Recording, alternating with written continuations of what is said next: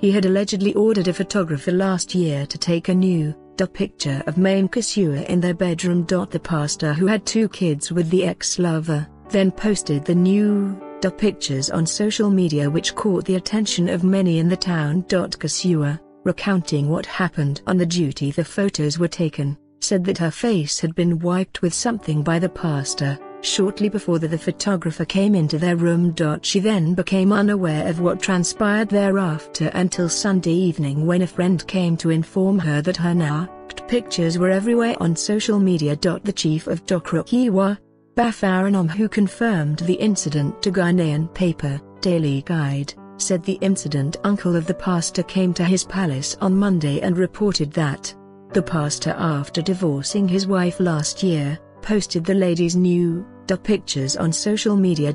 After his attention was drawn to this, he then ordered the arrest of the pastor and the photographer by the Kraboa-Coaltar police.